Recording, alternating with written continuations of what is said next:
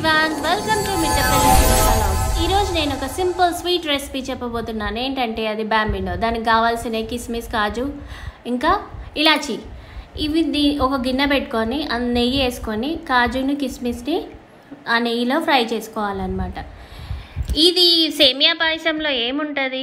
ఎప్పుడు చేసుకునేది కదా అని అందరూ అనుకుంటారు. కానీ నేను ఇందులో స్పెషల్గా సీక్రెట్ ఇంగ్రీడియంట్ ఒకటి యూజ్ చేశాను అనమాట షుగర్ లేకుండా నేను చేశాను అనమాట యూజ్ చేయకుండా చేశాను. అదేంటి అనేది మీరు నా వీడియోని స్కిప్ చేయకుండా జాగ్రత్తగా చూడండి. చూసి నా నేను ఎలా చేశానో మీరు కూడా అలా చేసి ఎలా ఉంది అనేది కామెంట్ సెక్షన్లో కామెంట్ చేయండి. కామెంట్ చేసే ముందు నా ఛానల్ని సబ్స్క్రైబ్ చేయండి లైక్ చేయండి షేర్ చేయండి.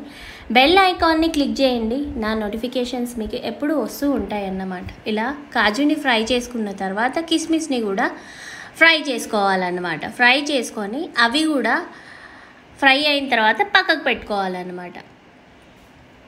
ఈ స్వీట్ని ఎప్పుడు నేను హాట్ అవే చేస్తున్నాను కదా స్వీట్ కూడా చేద్దామని చెప్పేసి ఇలా నేను సేమియా పాయసంని ఈరోజు ఇలా మీకోసం నేను ఈ వీడియో చేస్తున్నాను. ఇలా కిస్మిస్ని కూడా ఫ్రై అయిన తర్వాత నెక్స్ట్ ఏం చేయాలంటే అవి తీసుకొని పక్కకు పెట్టుకున్న తర్వాత బ్యాంబినో రోస్టెడ్ బయట ఇప్పుడు రోస్టెడ్ బ్యాంబినో కూడా దొరుకుతుంది కదా. ఆ రోస్టెడ్ బ్యాంబినోనే నేను తీసుకున్నాను. తీసుకొని కొంచెం ఆల్రెడీ అది రోస్టెడే బట్ నెయ్యిలో కొంచెం ఫ్రై చేద్దామని చెప్పేసి ఎక్కువ కూడా జస్ట్ టూ మినిట్స్ అలా ఇలా అనేసి తర్వాత నీళ్ళు పోయాలి. నీళ్ళు ఎంత క్వాంటిటీ నీళ్ళు ఎంత పోయాలంటే ఒక చిన్న గ్లాస్ పైన ఇప్పుడు బ్యాంబినో తీసుకున్నాను చూడు. ఆ గ్లాస్ పైన ఇంకొన్ని వాటర్ పోసి ఉడికించుకోవాలన్నమాట. అది బాంబినో బ్యాంబినో అనేది వాటర్లోనే ఉడికించుకుంటే మంచిగా పాలల్లో కంటే వాటర్లో ఫస్ట్ ఉడికించుకున్న తర్వాత పాలు వేయాలన్నమాట.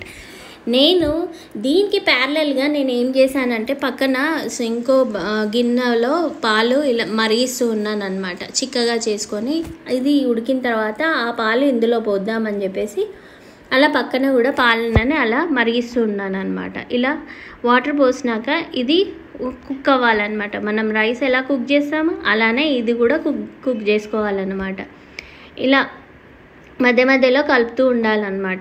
తర్వాత ఇలా కుక్ అయిన తర్వాత ఏం చేయాలి? మూత పెట్టేసుకోవాలి. మూత పెట్టేసుకొని కు- ఇప్పుడు చూడండి దగ్గర పడింది. ఇప్పుడు చూడండి నేను చెయ్యి ఇలా పెడితే అది ఇలా బ్రేక్ అవుతుంది. అంటే కుక్ అయిందనమాట ఇప్పుడు నేను ఏం చేశానంటే పక్కన పాలు మరిగించుకుంటున్నాను కదా ఆ పాలని నేను ఇందులో పోస్తానన్నమాట.